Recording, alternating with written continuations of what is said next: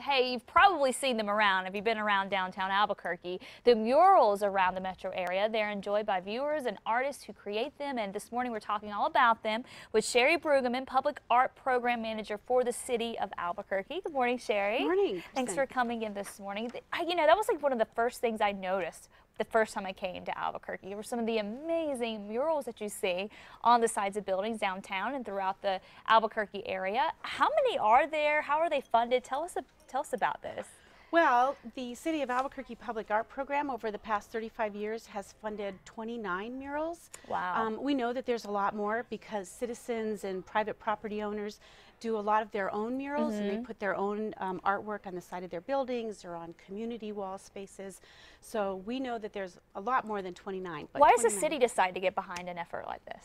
Well, public art. The city of Albuquerque has a law that says that we have public art in our community. Mm -hmm. And so murals are just one of the ways that we can fund public art.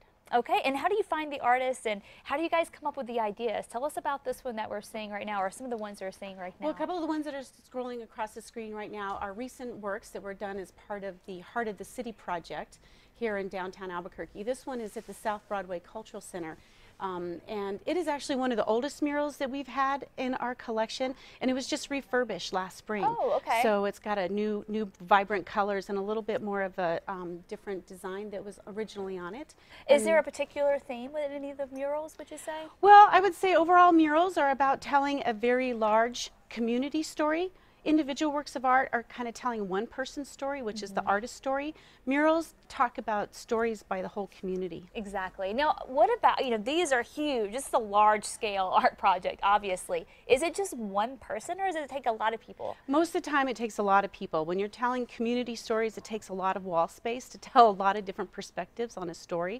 So in Albuquerque, we have a very strong tradition of having a lead artist that then actually um, mentors younger artists okay. who want to learn the tradition tradition themselves. Oh, that's fantastic. Now, do you, does a lead artist usually draw it out on, on like a piece of paper or, you know, uh, you know, just a smaller version of it to kind of show like, okay, this is the big picture. Is that how it starts? Often, or? often it is done that way where the lead artist will kind of come up with a theme and maybe set up some compositional elements mm -hmm. and mm-hmm. then the apprentice artist will incorporate their individual ideas into the different spaces.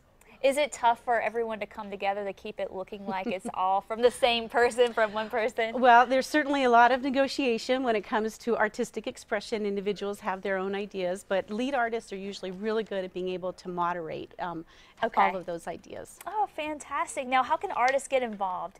Uh, if there are some young artists around the metro area who want to get involved in perhaps taking part in making a mural, how, how could they get involved? Well, the first thing they can do is contact us at the City of Albuquerque Public Art Program, and they can do that by calling 768-3833 or our webpage, uh, cabq.gov slash public art. Um, but they can also contact some of the other arts organizations in the city that have supported them, 516 Arts, Working Classroom, Harwood Art Center, uh, Warehouse 508. We have great partnerships with those organizations, and we're always happy to hear about new ideas. Is Are there any new projects coming up that you're There are actually a couple of projects that are coming up at the, a new one at the South, uh, excuse me, the South Broadway Cultural Center. Our own um, amazing muralist, uh, Francis Rivera, is doing sort of a historical look at the rail yards area. Okay. And we're very excited about that piece coming online. All right, fantastic. And then, of course, we'll have more info for you on this. Just go to our website, kasa.com, and click on the KASA blog. Thanks so much, Sherry, for coming in. Well, thanks for letting me come and talk about creativity, especially with all the other creative uh, segments you've had this morning. Yeah, let's keep this art going. I really do love seeing, I know many of us do, love seeing the murals around town. Oh, thank you Beautiful so much. Stuff.